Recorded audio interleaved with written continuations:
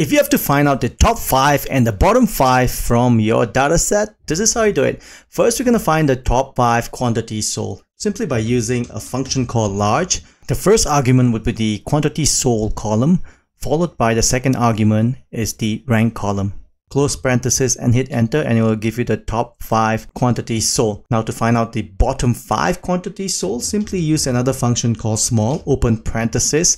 Again, the first one will be the array where you want to look for the bottom five, which is the quantity sold column itself, comma, and the rank column from 1 to 5 like this. Close parenthesis and hit enter and it will show you the bottom 5 quantity that was sold. Now it doesn't make sense just to show quantity, you want to have a name associated with it. We're going to start off with using the match function here and basically looking for this particular quantity sold on this column here. Now we're going to make it both row and column fixed by pressing F4 here and then comma 0 the third argument as an exact match, close parenthesis and hit enter. And this match function actually returns the index or the location where this number occurs here, which happens to be the second position here. Now we can use the index function here like this against the location what you want to look for the name for, comma, and then the match function, close parenthesis on the index function like this. And this is going to return the name of the person. Now you're going to make this into a fixed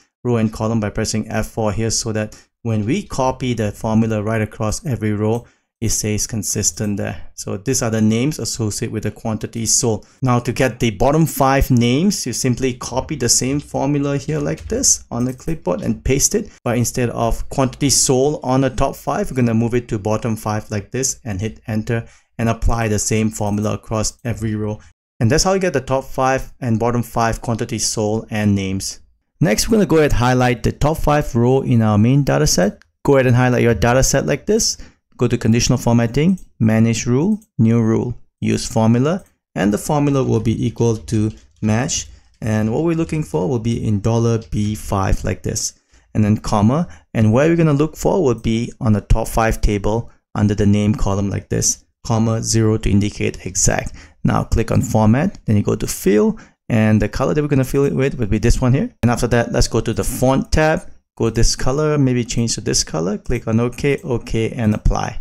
Now for our bottom five, we're gonna duplicate this same rule, double click on it, and just gonna change this second argument in here to reflect the bottom five names, and then change the fill color to red and the font color to red, and click on OK, OK, and OK one more time, and there you have it. That's how you do the top five and bottom five and highlight them on your main dataset.